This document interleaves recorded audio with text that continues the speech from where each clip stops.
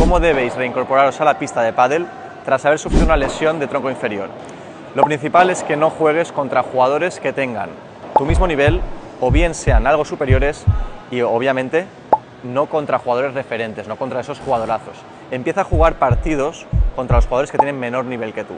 Esos jugadores que realmente te es fácil moverte por la pista, hacer desplazamientos y no hay tanta incertidumbre.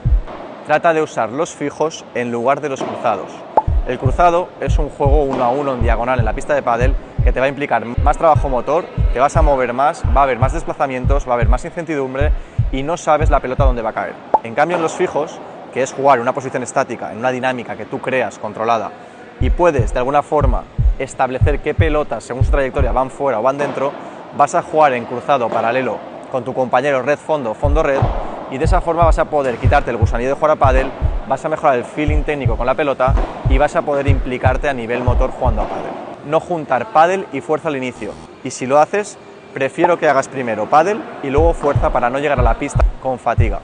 Trata de respetar 48 horas entre cada partido y que así durante la semana hayas jugado entre 3 y 4 veces como mucho para poder dejar días puentes donde vas a hacer tus trabajos preventivos, trabajos coayudantes, bloques accesorios, movilidad, estiramiento y así prepararte para el siguiente estímulo de pádel.